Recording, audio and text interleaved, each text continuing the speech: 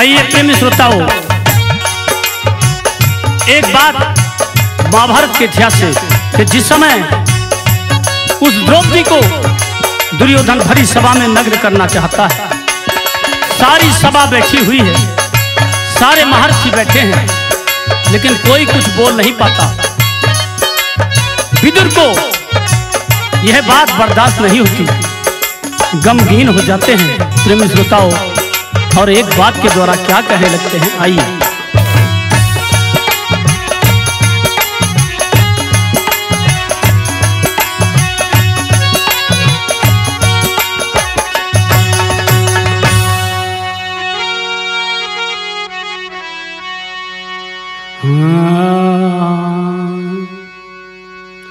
अरे दुख भारी होया विदुर को।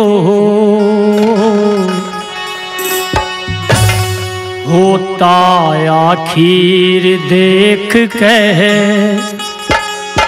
फिर हिड़की देख रोया, द्रौपद का चीर देख के फिर हिड़की देख रोया, द्रौपद का चीर देख के दुख भारी होया विदुर को, होता आखिर देख के फिर हिड़की देख रोया, द्रौपद का तीर देख के।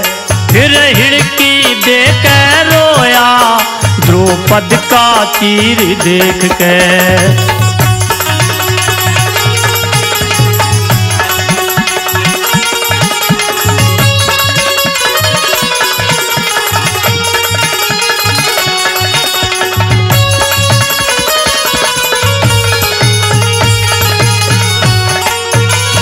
बुरा करा दुर्योधन जो सभा में वीर बुलाई।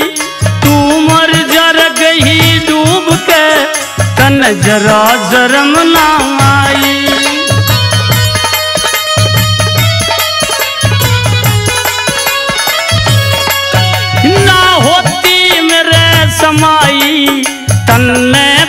बेपीर देख के फिर हिड़की रद के रोया।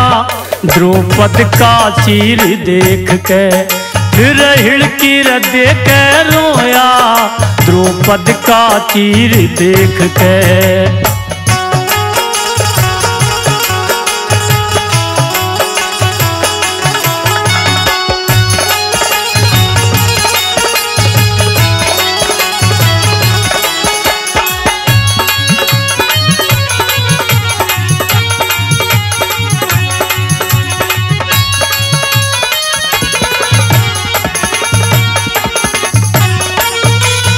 पाँचों पांडव का तन ने भारी अपमान किया है, तन अगली रे कुछ ना सोची, ना कोई ध्यान किया है।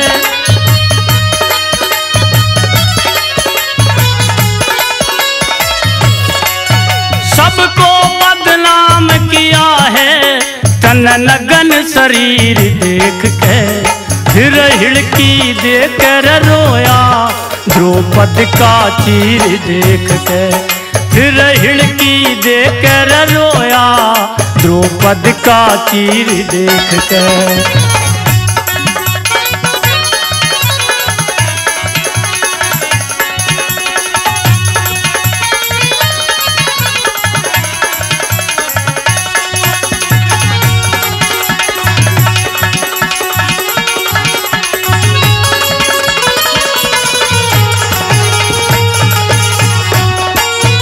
तन सूखे में लागेरी।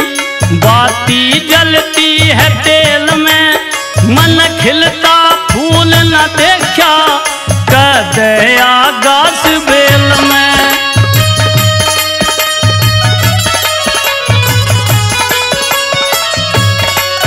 आ गया अब फ़र्क मेल में। तेरा चौपड़ सिर देख के रे देख रोया। द्रौपद का चीर देख के फिर की रे देख रोया। द्रौपद का चीर देख के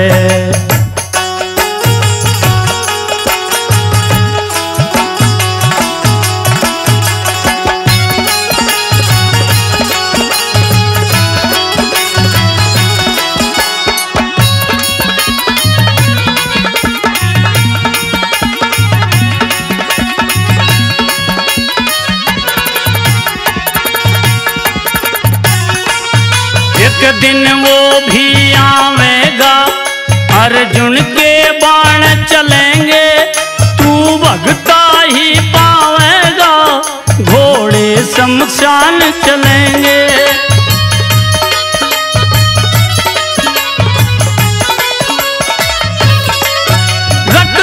भगवान करेंगे पीर देख के, फिर हिड़की र रोया द्रुपद का चीर देख के फिर हिड़की देख रोया। द्रुपद का चीर देख के दुख भारी होया विदुर को। दुख भारी होया विदुर को। होता आखिर देख के फिर हिड़की देख रोया। द्रौपद का चीर देख के फिर हिड़की देख रोया द्रौपद का तीर देख के।